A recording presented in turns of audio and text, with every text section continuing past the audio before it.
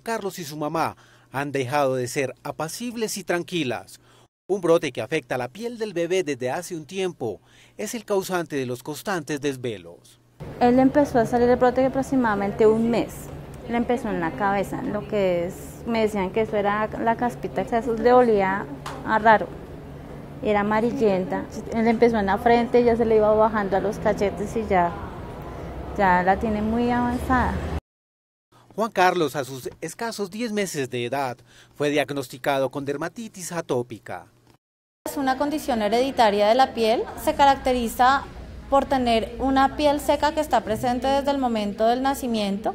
Esa piel seca siempre rasca, ese rascado lleva a inducir erosiones o agrietamientos en la piel y esos agrietamientos con el rascado y con los gérmenes que el niño lleva por debajo de sus uñas tienden a terminar en infecciones. Según cifras del Centro Dermatológico Federico Lleras Acosta, esta enfermedad ocupa el primer lugar dentro de los 10 motivos principales de consulta en dermatología pediátrica. Aproximadamente el 20% de la población general cursa con síntomas de atopía no solamente manifestados en piel, sino también en vías respiratorias.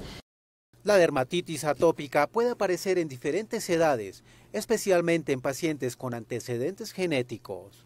Se puede presentar en diferentes momentos de la vida, desde la etapa de lactante menor, aproximadamente a los seis meses de vida, una etapa en la edad escolar y otra etapa en la edad adolescente, incluso en la edad adulta.